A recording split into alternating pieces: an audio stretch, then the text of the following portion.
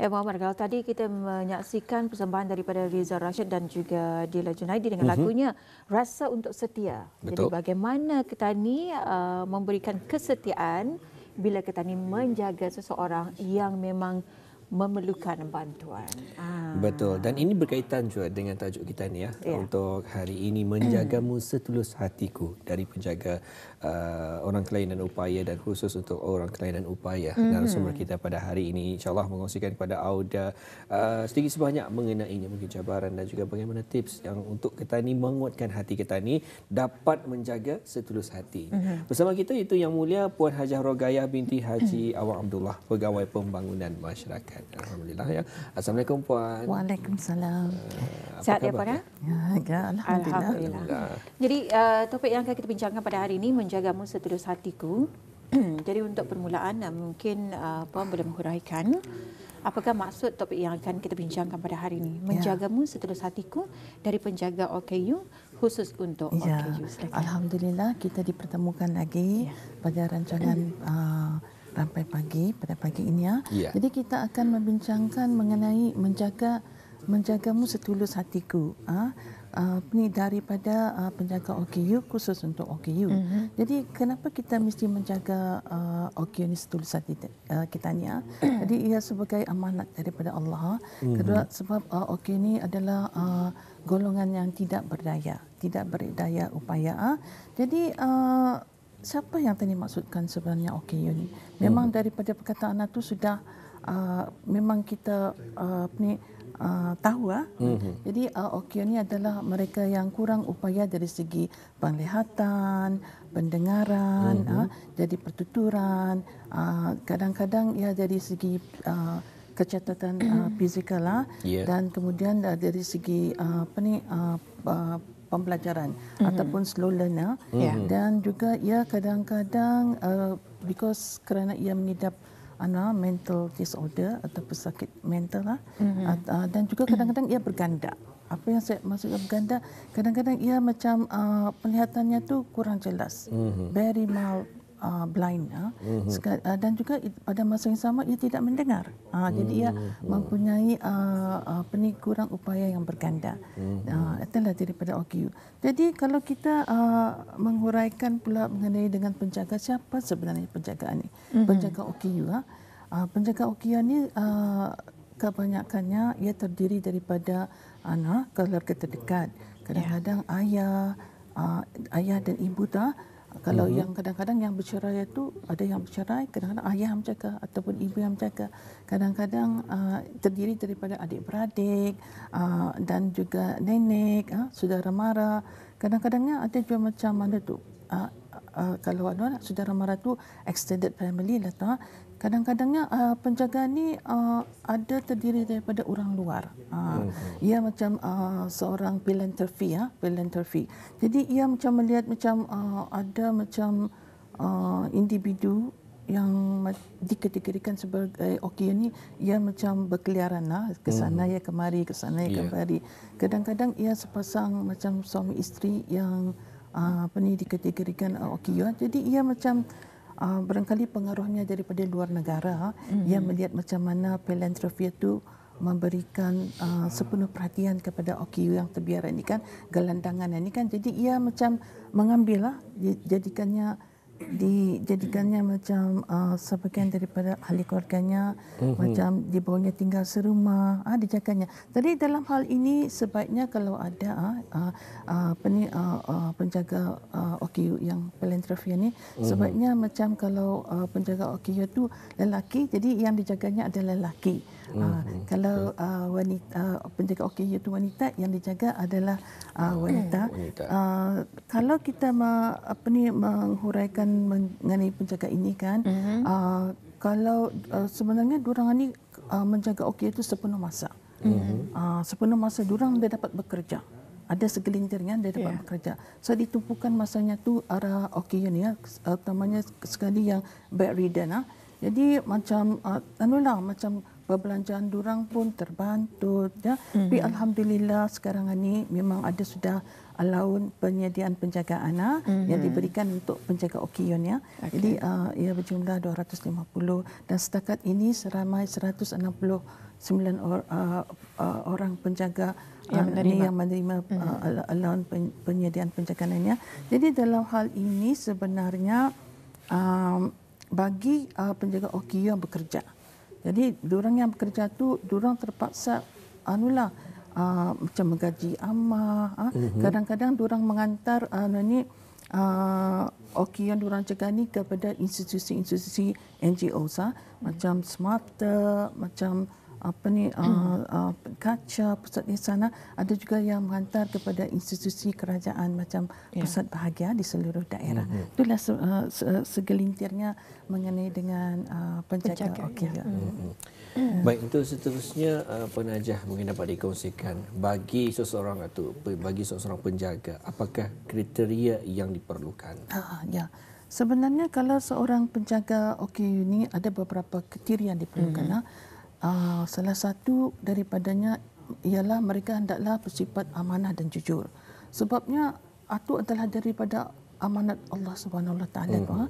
Sekali uh, kita, uh, kalau sekiranya macam orang ini kalau bersungguh-sungguh uh, kata hmm. orangnya macam jangan macam uh, indah tak indah saja macam beri makan saja dan hmm. sebagainya. Hmm. Sebenarnya uh, kalau menjaga EQ ini mesti emosionalnya dijaga. Betul. Ah. Jadi macam kesehatannya, permakanannya dan juga ia diberikan kemahiran. Ha? Jadi kadang-kadang kan kalau sekiranya macam uh, OKU itu menerima anukan allowance, allowance 250. Uh-huh. Jadi sebaiknya digunakan uh, anu, dengan bijak uh, untuk kesejahteraan OKU-nya. Uh-huh. Uh, jadi macam orangnya jangan digunakan uh, jangan yeah. digunakan uh, allowance itu untuk sendiri, sendiri ya. Yeah. Kalau boleh macam allowance itu uh, macam uh, disimpan lah. Uh, ada mm-hmm. bank account untuk kegunaannya masa depan mm-hmm. untuk uh, uh, mm-hmm. ni. Itulah salah satu daripadanya sifat jujur dan amanah untuk uh, menjaga okion ya. Dan mm-hmm. di antaranya pula ialah uh, penjaga okion ni mestilah bermaklumat. Mm-hmm. Uh, yang orang tetani menjaga okion ni bukan uh, suka-suka di tetani. Mm-hmm. Ya lain-lain kategorinya kan tu. Kalau sekiranya uh, ia dari segi penglihatan kadang-kadang ada yang uh, ada kategorinya tu very mild mm-hmm. very mild uh, blind itu kan dia tu macam uh, ada yang macam severe jadi kalau sekiranya ia very mild macam mana kaedahnya mm-hmm. jadi kadang-kadang petani macam uh, ia masih dapat melihat tapi mm-hmm. tulisan itu pasar lah jadi yeah. boleh tani ajar kadang-kadang kita ni macam uh, anulah bagi ia uh, untuk peluang belajar braille lah mm-hmm. kalau yang uh, severe blind itu kan Uh, dan kalau sekiranya macam maklumat mengenai dengan uh, yang kurang pendengaran. Yeah. Jadi uh, mm. jadi macam mana kan anak tu berkomunikasikan? Jadi menggunakan bahasa isyarat. Mm-hmm. Jadi pencakap OKU mesti uh, mesti pandai berbahasa isyarat dan yeah. uh, OKU yang kurang mendengar itu pun diberi macam uh, pembelajaran untuk uh, belajar bahasa isyarat. Bahasa Itu ya. penjaga OKU ini mesti bermaklumat. Itu mm. adalah perlu kan.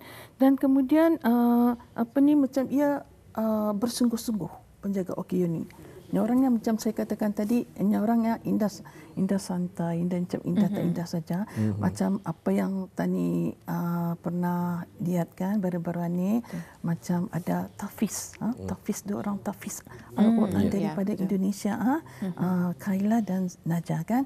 Jadi kalau uh, saya anukan. Uh, saya macam ada bertanya lah kepada uh, bapa Muhammad Sabana ni kan ayah kepada apa ni ayah kepada uh, Tafiz Kailan ni kan jadi uh, anulah ia macam apa ni melabur ha, untuk anaknya pandai yeah. ni kan jadi macam didatangkan ha, guru yang mengajar mengaji ha, mm-hmm. jadi mm-hmm. itulah di sana jadi macam sebenarnya macam ia ia macam bapaknya bercerita juga kan ia pernah terlihat macam uh, pengemis ha, pengemis yang yeah. buta mm-hmm. Jadi mm. ia berfikiran dia tidak mahu anaknya macam itu mm-hmm. ha, dari dari sana pun ia timbul semangat untuk uh, melabur ha, mm. uh, investment untuk uh, kemahiran anaknya kan mm. itulah uh, salah satu daripadanya and then uh, uh, salah satu juga sifat yang mesti ada adalah penjaga okey ni mesti toleransi. Mm-hmm. Toleransi kalau ia menjaga okey ia mental lah, ia tantrum, mm. ia kadang-kadang mengamuk, mm-hmm. kan, ia membaling-baling barang, ia mesti sabar. Kadang-kadangnya macam uh, kalau bagi isu uh, keluarga yang bercerai kan, kadang-kadang macam di sana durang ada anak AKU. Kalau durang bercerai masing-masing membawa aduan. Mm-hmm. Jadi anak tinggal uh, kepada uh, penjaga okey yang sudah berumuran nenek. Yeah. Uh, hmm. Jadi macam itulah walaupun mereka bercerai mesti macam mereka apa ni uh, masih lagi uh, apa ni uh, membagi uh, apa ni peluang ah yeah. peluang untuk memberi kasih sayang uh, kepada anak mm-hmm. seorangan ni kan dan uh, sebenarnya penjaga okey ini mesti juga ada macam self resilient.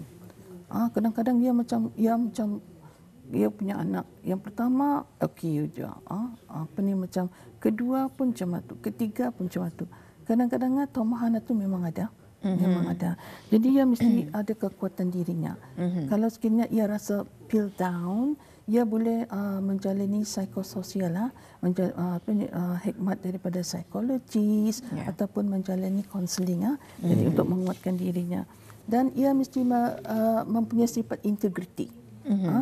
Ia macam ada uh, atu uh, macam manulah ha? macam mempunyai uh, merangkumi ya, merangkum sifat yang yeah. merangkumi keikhlasan, ketulusan, keterbukaan. Ha? Jadi ia macam kepercayaan mm-hmm. uh, yang mesti wujud dalam uh, penjaga OKU ni. Mm-hmm.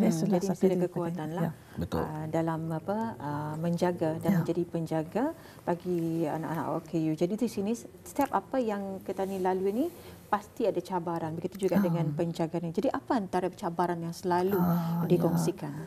Kalau cabaran ni memang banyak ah. Uh, macam kadang-kadang uh, ya tentu macam uh, tekanan emosi. Mm-hmm. Uh, tekanan emosi. emosi. Ya. Macam sama macam saya uh, nyatakan tadi ya. Mm-hmm. Ya macam tekanan emosi. Macam ia macam kadang-kadang dia terbala. Bah. Dia terbala. Kadang-kadang macam uh, ada dua kan okey you dalam keluarga tu kan mm-hmm. dia terbala. Jadi kita tu macam ia mesti uh, apa ni uh, pandai membawa dirinya tu kan yang orang pandai macam mana uh, mendapatkan hikmat ha? yeah. uh, untuk uh, mengatasi tekanan emosi ini. Kadang-kadang ia masalah penjagaan. Mm. Uh, uh, dia kan ia saja kan dari pagi sampai Betul. ke petang. Dia berganti dari ya? petang sampai mm. ke hmm. malam. Mm. Uh, jadi dia berganti. Mm-hmm. Jadi dalam uh, keluarga tu mesti ada uh, pengganti, penjaga sementara, yeah. respite, respite care. Ya? Mm-hmm. Jadi macam itulah uh, macam mana. Uh, ini bagi uh, uh, penjaga OKU sepenuh masa. Mm-hmm. Jadi kadang-kadang kalau uh, uh, yang penjaga OKU yang anaknya mm. macam diantar ke institusi itu, uh, tu anulah macam ada sikit rahmatnya kan. Mm-hmm. Jadi uh, uh, itulah di antaranya. Then macam ada juga yang uh, tidak mendapat sokongan sosial atau mm-hmm. tidak ada mendapat sokongan sosial itu uh, macam orangnya yang tadi saya katakan tadi because proses perceraian itu kan yeah. ya mm-hmm. macam and then then commitment daripada keluarga tu ada macam uh, okey tu kan macam uh, membawa haluannya sendiri mm-hmm. especially orang yang anulah uh, mental lah mental mm-hmm. Kadang-kadang berjalan saja, berjalan, berjalan, berjalan. Yang membawa haluannya ya. sendiri mm-hmm. kan. Jadi uh, di sanalah kepentingan Titania uh, tetani masyarakat ni tetani macam anu jam membantu apa ni uh, apa ni masyarakat uh, golongan yang kurang bernasib baikannya yeah. cuma tu jadi mm-hmm. cabaran yang lain kadang-kadang uh, memang ada laun uh, kena bagikan tapi kadang-kadang uh, memanglah kadang-kadang segelintirnya memerlukan uh, mm-hmm. especially bagi anak vulnerable family ya yang berpendapatan rendah. Ha? Yeah. Banyak lagi anak-anaknya lain. Mm-hmm. And then kadang-kadang macam uh, keritanya rusak. Mm-hmm. Ya macam mana bah, uh, kalau ada appointment di uh, apa ni rumah sakit, dah ada orang yang mengantar. Mm-hmm. Yeah, betul. Jadi di sini sebaiknya macam ada uh, uh, sukarelawan. Uh, mm-hmm. Jadi ia berhubung anulah macam uh, ke ke Kementerian Kesihatan untuk ia ingin menjadi sukarelawan untuk menghantar mm-hmm. menghantar macam uh, golongan ke uh, OKU ini untuk menghadiri uh, apa ni perkhidmatan anu kan mm-hmm. uh, uh, di hospital atau di hospital atau itulah daripadanya cabaran-cabarannya. Jadi hmm. itu antara cabarannya kita juga ingin mengetahui antara bantuan yang diperlukan oleh penjaga OKU sedikit uh, mengenai dengan bantuan yang diperlukan. Uh, uh, ya sebenarnya uh, uh, memang uh, agak sama juga kan hmm, ya kurang lebih ya, kurang lebih. Sebenarnya kalau dari segi bantuan ini kan uh, kadang-kadang terutama sekali bagi uh, macam uh, uh, keluarga yang kurang berkemampuan mm-hmm. uh, walaupun dia macam menerimakan tu tapi anaknya banyak yeah. anaknya banyak macam jadi ada yang macam masih tidak bekerja masih mm-hmm. lagi di bawah tinggal serumah tu kan yeah.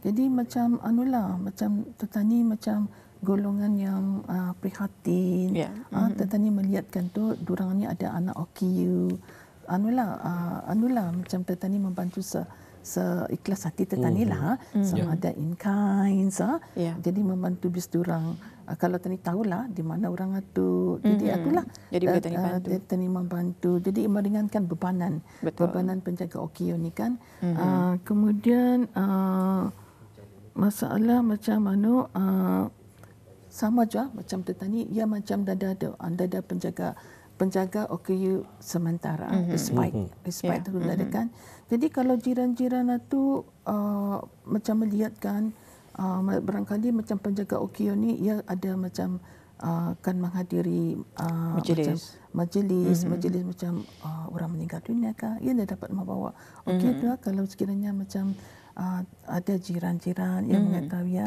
diorang macam manulah macam uh, macam uh, memastikan membantu untuk menjaga sementara mm-hmm. pastikan macam tidak ada macam eksploitasi ya Betul. eksploitasi kepada golongan okey tidak ada macam uh, penderaan emosi uh, penderaan fizikal Betul. dan sebagainya mm-hmm. alhamdulillah itu di antara yang bawakan pada hari ini menjagamu setulus hatiku. Hmm. Jadi bukan saja peranan ini uh, bagi penjaga, kita juga sebagai masyarakat perlu mengetahui dan Betul. lebih prihatin uh, dengan topik yang kita bincangkan pada hari ini. Ribuan terima kasih kami ucapkan kepada Yang Mulia Puan Hajar Rogaya binti Haji uh, Wang Abdullah iaitu Pegawai Pembangunan Masyarakat. Kita jumpa lagi. Assalamualaikum. Waalaikumsalam. Ya.